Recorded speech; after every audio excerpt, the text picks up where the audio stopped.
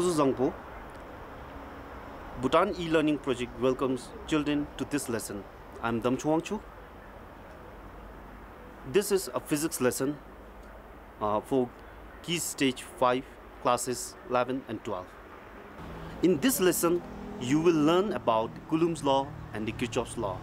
Great Greek philosopher Thales observed that when a piece of amber is rubbed against a wool, it acquires the property of attracting the light object. Since it happened 2500 years ago, this observation was not given any importance.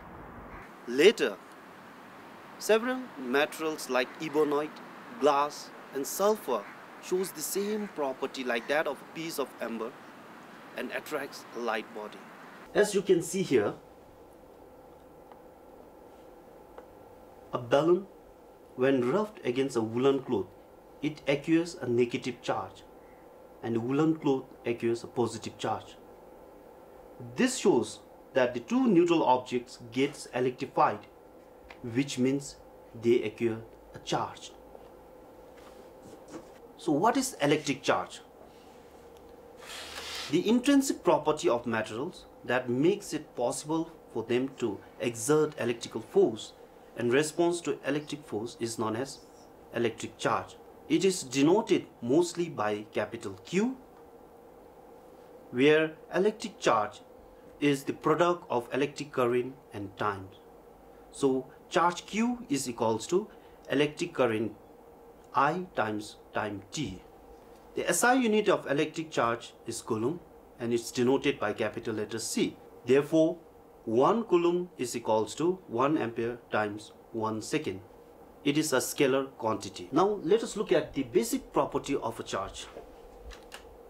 Negatively charged balloon when it is placed against the neutral wall we can see that the negative charges on the wall get repelled and the positive charges on the wall get attracted. Therefore, like charges repel and unlike charges attracts. The force of repulsion or attraction between two like or unlike charges is called Coulombian force. If we bring two like charges, it exerts the force of same magnitude in opposite direction. Whereas, if we bring two unlike charges together, you can see the force of attraction between the two charges. The equation giving the electrostatic force of repulsion or attraction of two charged particles is explained in the Coulomb's law. Now let us look at the magnitude of a force. Currently, the force out here shows 7 Newton. And let us see what happens if we increase the magnitude of charge Q1. Accordingly, the magnitude of a force out here gets increases. Similarly, if we increase the distance between the two charges, Q1 and Q2, you can see out here the magnitude of the force decreases. Right now you can see the magnitude of a force that is exerted uh, onto charge Q1 due to charge Q2 is shown as 6 Newton. Now let us see what happens if we increase the magnitude of charge 1. You might have noticed that as we increase the magnitude of charge 1, the force out here also increases. So not only the magnitude of charge 1, even if we increase the magnitude of a charge 2, you can see the force out here increases. Likewise, if we decrease the magnitude of charge 1, the force decreases.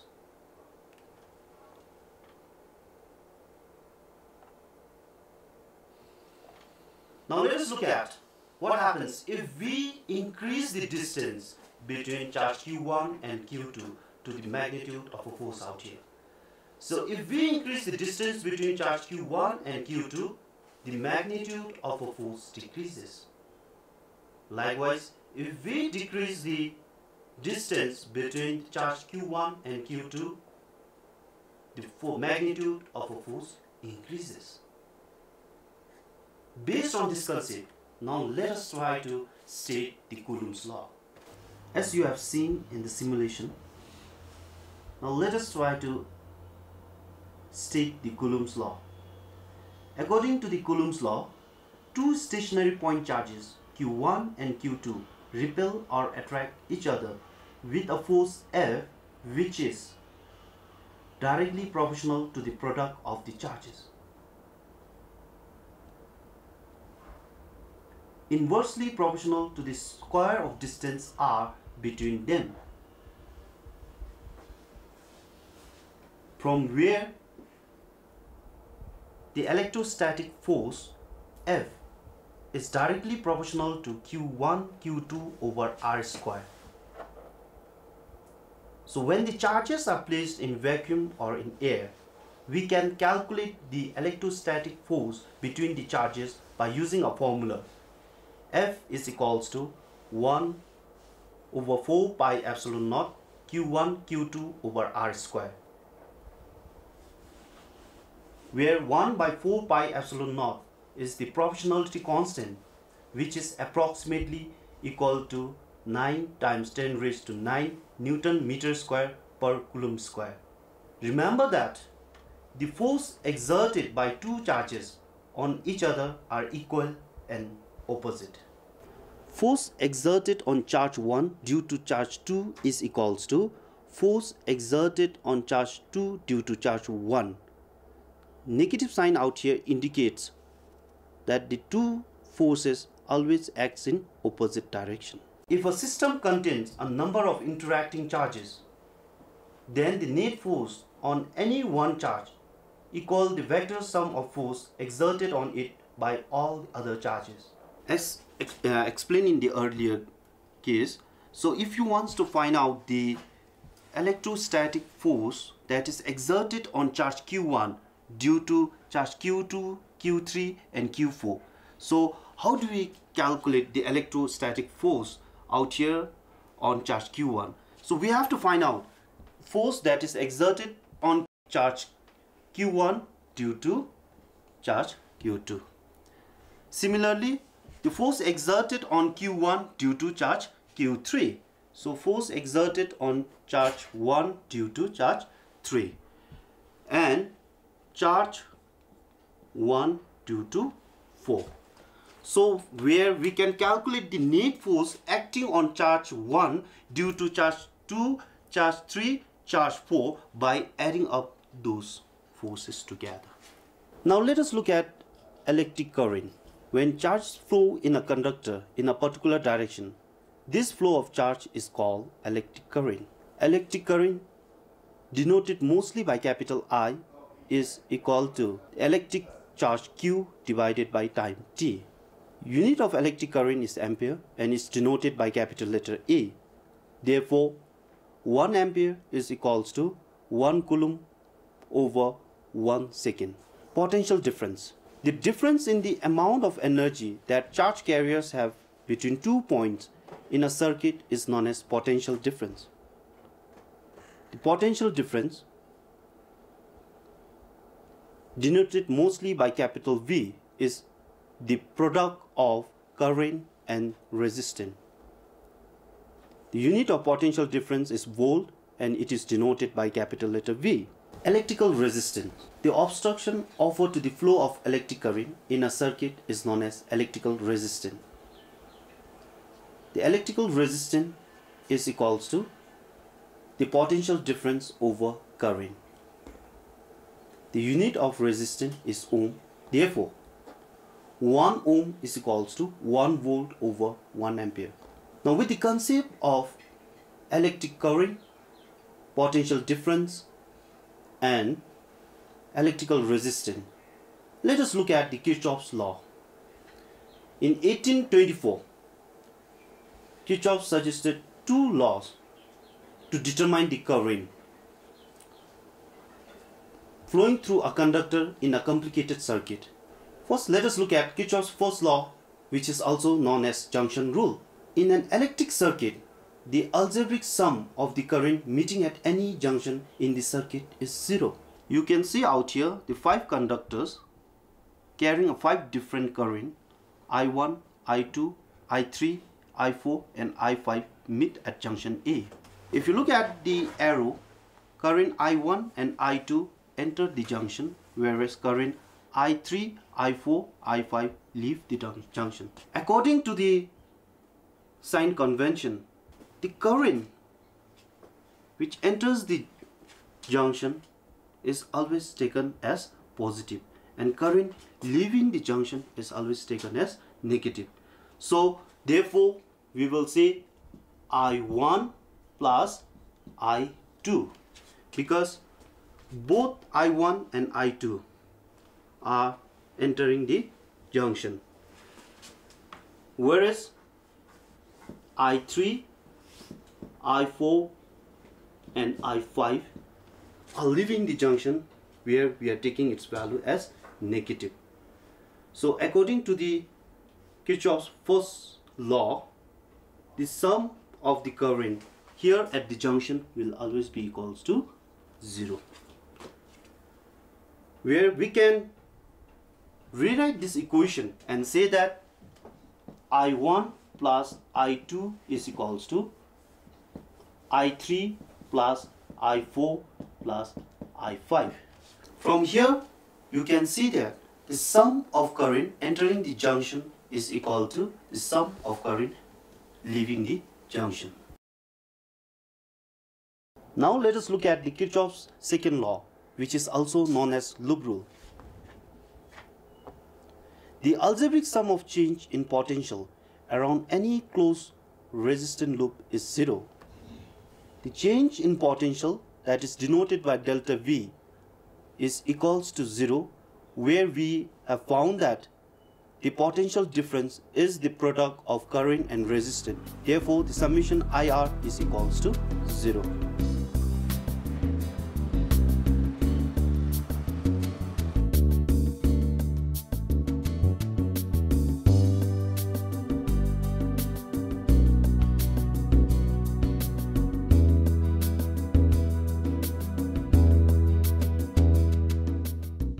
If you look at this circuit out here in a circuit you can find two loops loop 1 and loop 2 so we are going to determine the current that is flowing through a circuit. So current I1 current I2 and then we will have the sum of current I1 and current I2 as current I3 so how can we use a Kirchhoff's rule out here to determine the electric current in such a complicated circuit.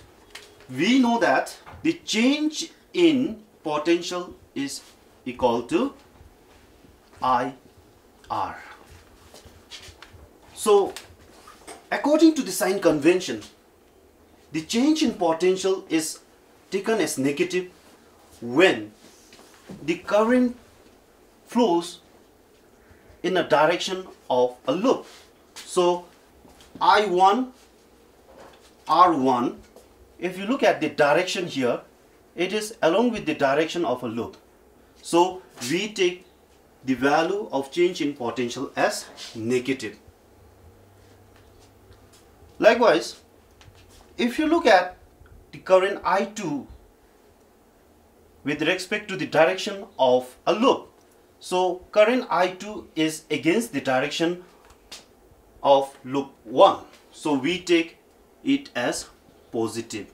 So I2 R2 now the direction of a loop with the EMF so if the direction of a loop goes from negative terminal to positive terminal of EMF we take its value as positive. So positive E1 Likewise, in this case, the direction is going from positive to negative. So, we take the value of EMF E as negative E2. So, that is the case in loop 1. And according to the Kirchhoff's second rule, so here the change in potential has to be equals to 0. Now similarly, if we look at loop 2, the direction of loop 2, you can see it out here. And let us take the change in potential I2 R2. So I2 R2, since it is along with the direction of a loop, we take it as negative. And then we have I1 plus I2 which I have said earlier we can take this value as I3 so I3 R3 is also again is along with the direction of a loop where we take it as negative I3 R3 and we have EMF E where the, the direction of a loop shows it from negative terminal to positive terminal. So we take its value as positive E2 which is equals to 0 uh, before we wind up our lesson let us uh, recapitulate what we have discussed so far. So we talked about uh, the Coulomb's law where we have found that According to the Coulomb's law, two stationary point charges, Q1 and Q2, repel or attract each other with a force F, which is directly proportional to the product of the charges and inversely proportional to the square of the distance r between them. Likewise, we have also discussed two Kirchhoff's law which help us in determining the currents. The first law which we also call it as junction rule, states that in an electric circuit, the algebraic sum of the current meeting at any junction in a circuit is zero. We also discussed about the Kirchhoff's second law, which is known as a loop rule, and it states that the algebraic sum of the changes in potential around any closed resistant loop is zero. With this, now we have a question out here which is based on the Kirchhoff's law. Use both the Kirchhoff's law to determine current I1, I2 and I3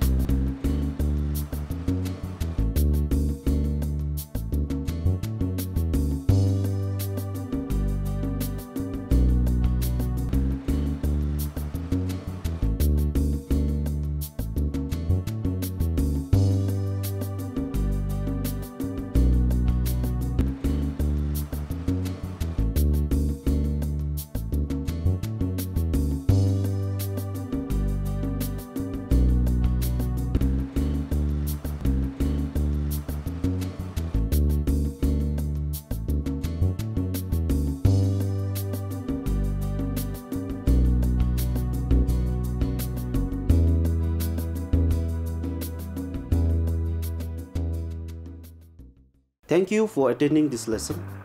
I'll see you all in my next lesson. Thank you and Kadinche.